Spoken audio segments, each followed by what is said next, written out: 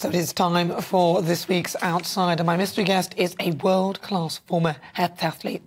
Now, she holds a trio of Olympic medals, but it took 10 years to receive two of the three. Now, she was one bronze outright in Athens in 2004, but bagging the next two medals was more complicated as she finished fifth sorry, in the heptathlon and the 4x400 metre relay. But then it emerged later that her competitors had not been playing by the rules and that she'd been beaten by drugs cheats. And since missing out on the podium moments and being retrospectively awarded two bronze medals, she's been team leader of England's athletics team for the Commonwealth Games in Birmingham. Uh, any guesses? Well, I'm pleased to say that I'm joined now by Kelly Sotherton, MBE. Kelly, thank you so much for joining me, Crikey. Well, so Kelly, talk to me. Sorry, you, you, you're, you're a fantastic athlete. But a lot of people might not know much about your backstory. So talk to me about, you know, what, what brought you to athletics?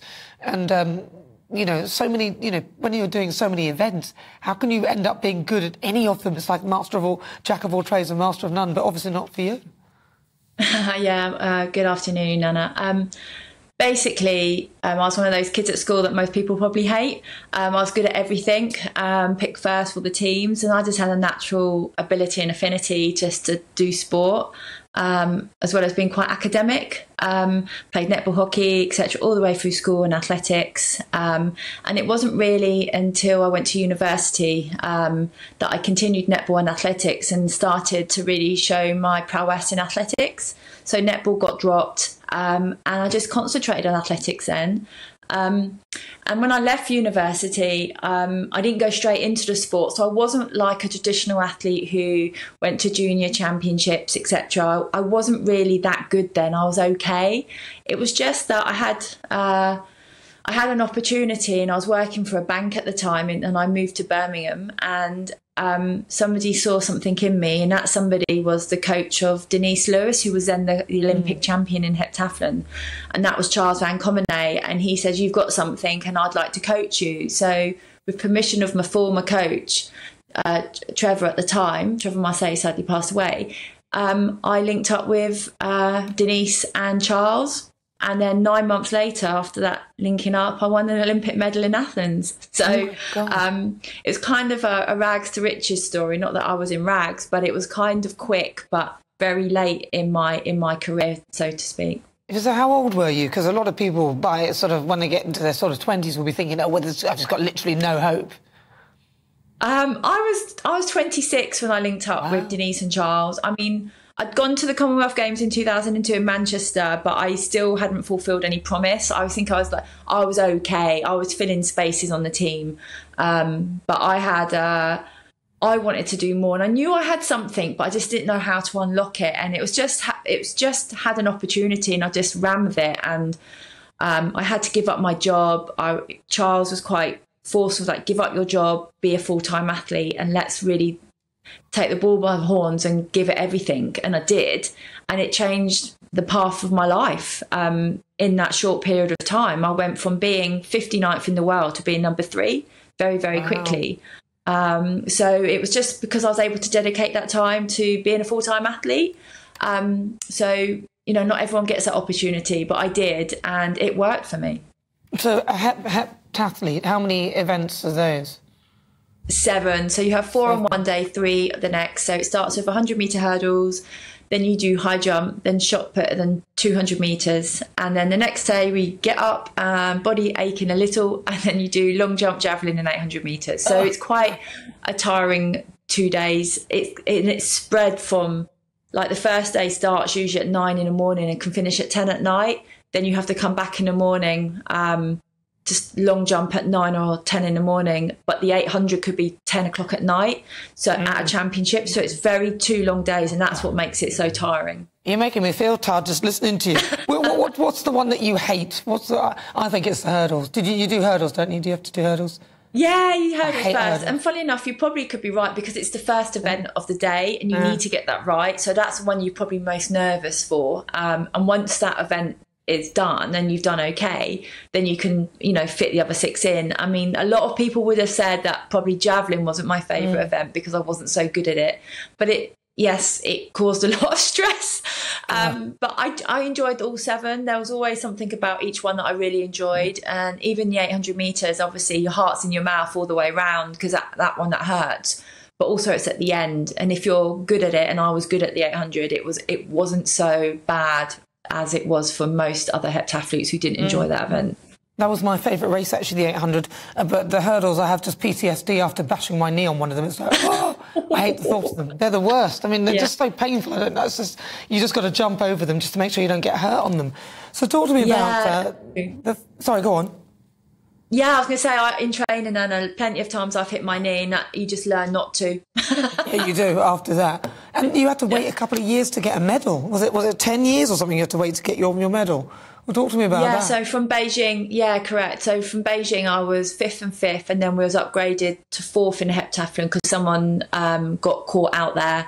Um, and in our four by four, we finished fifth. Um, and then subsequently, like seven years later, eight years later, we heard that um, one of the Belarusians in the four by four had been disqualified, um, and there was um, allegations over one of the Russian athletes who then had her samples tested back from Beijing and she'd actually subsequently cheated Jessica Ennis out of a world title, oh, as two world titles, I think, at the time.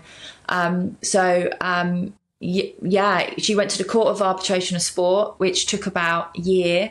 And then once that result came through and in my favour, or in favour of her losing her medal and me getting it, I got my medal. Uh, one of them at the Olympic Stadium, which was great. That was the four by four with my teammates.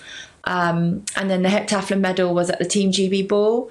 Okay. That was celebrating Pyeongchang 2018 Winter Olympics, and nobody knew that was happening apart from a couple of people. So I got to have a really intimate medal ceremony dressed up.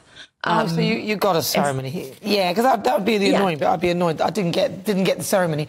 But what about what do you make of this? Because you're talking about cheating, and in my head, I'm thinking that when I see like trans women in women's sport, I get quite angry at that. Um, you know, I have nothing against somebody who's trans. You know, it's up to you. It's not not my business, but I get really, really angry when I see trans women competing against women because they're, they're, they're not women in terms of biology, uh, which is sport is all about bodies. Surely, what, what's your view on all of that? Uh, first off, I think a lot of people are very frightened, especially females in sport, to talk mm. out about this without being offensive or offending anybody. And rightly so, it, it is a tricky subject. I am all for fairness in sport, regardless of what gender you are. Um, I am for natural born females having their own category and it's female sport. Now, the greater conversation is to include, be inclusive and diverse. How do we, how, it's basically how does sport or society cater for a different category that isn't mm. the norm, I should say. Um, and so it's, that's the conversation. How do we accommodate transgender? men and women in that in that in that category. I don't know the solution, but that's the conversation.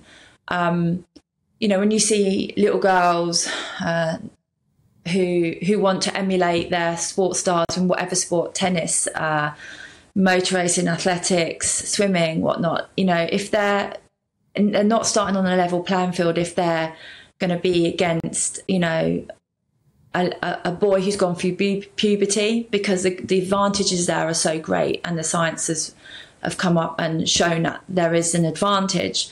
I just think the conversation needs to be around how do we deal uh, uh, in uh. society and elite sport because this is recreational and elite. It's from top to bottom. How do we deal with it in society to make it fair and inclusive? And I don't have the answers to that, unfortunately. But I agree with you, Nana. It's, um, it's a tough it's a tough subject that a lot of people don't like to talk about, and in this case, they offend or upset. Well, I'm all right with it. I don't see why they just can't have their own category. yes. I, I, I, don't see what the problem is. You have your own category because it's not fair on the women. Uh, uh, uh yeah. You know, like there's no. You probably won't find uh, a trans man competing against men because that wouldn't make any sense. Because I mean, you never know, but it's unlikely that they would beat a, tra- a man only because they are natural-born women. So I, I, don't see why people are having such a difficulty just having like a separate category for somebody for trans athletes and one for women and men, or an open category that you can, if you want to go in, you can. But I don't, I don't see why. I think what, it's I think what the, the problem is is that um, is probably terminology and forgive me, if I forget this wrong. So female, women, we're male, female categories, and transgender, transgender women. So it's like, are they transgender females or transgender women? And I have is obviously if you're going to use correct grammar, that's what it should be.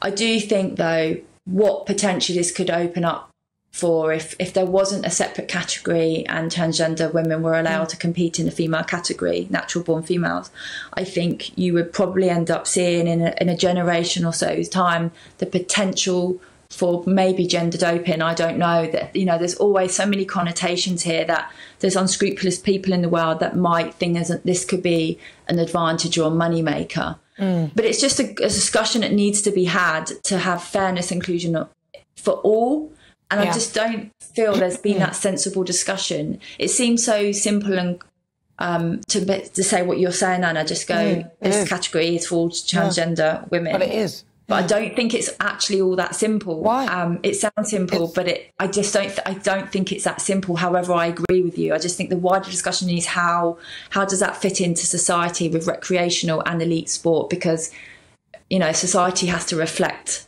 what's happening in elite sport, what it should do. Um, mm. So it's making sure that's correct.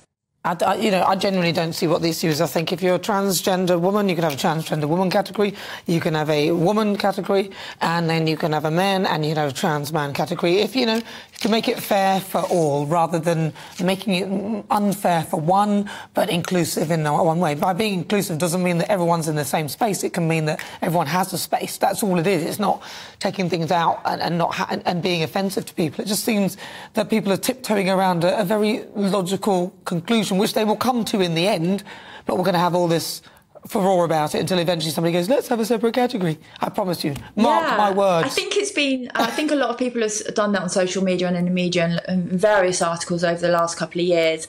Um, but for some reason, nobody seemed to have grasped that concept and it's, it's just been quite kind of probably controversial in terms of obviously a sport or society or community banning the rights of a transgender woman to compete in a female category, which obviously for fairness for women that's what should happen yeah, but then not but but then not have the solution of a category for them transgender women to compete in so it's like sorry you can't compete in anything well, they should so do, they should just do the anyway. men's group so if the solution mm. was another category mm. let someone do another category to see how well that's received and accepted and what it looks like. At the mm. moment, we don't know what that really looks like. Mm. I've heard the argument that there won't be enough transgender people in it. That's fine. It's like, well, they'd win anyway, usually against a woman, so they can just win their own race. It'd be fine. Listen, Kelly, what are you up to briefly? We're running out of time. So, what's your next thing then? Hello, cat. Sorry, it's my cat making Hello, their, cat. their debut. Um, what am I doing? So, I work for Sport England actually now. I work in talent coaching. So, I help um, develop coaches and people of the future who work in a talent space, um, about 55 sports. So um, it's gone from team leader of being the most successful team in the Commonwealth Games in track and field, which was brilliant role. Absolutely, yeah, great with me and Boris. um, Boris, yeah, yeah, had such a great. It was a brilliant summer. I was really proud to be because I live in Birmingham, so I was really proud to have that opportunity to lead my team at Commonwealth Games. They were absolutely amazing, and it was one of the most inclusive teams with the, the para athletes and able-bodied to be able to compete together. Um, and it was a pleasure to lead them all. Um, but now we moved on out of athletics and now, oh, yeah. producing um, ho- hoping to support as many more sports as possible to be to be greater at coaching. Um, that's my aim at the moment. well, team. You, you you keep doing your thing. I know you've got an MB as well. Well done, Kelly. Fabulous. Lovely Thank to talk you. to you. As Kelly, Kelly yeah, Sotherton, she's an Olympic heptathlete. MBE, Kelly Sotherton. Thank you very much. Lovely to talk to you.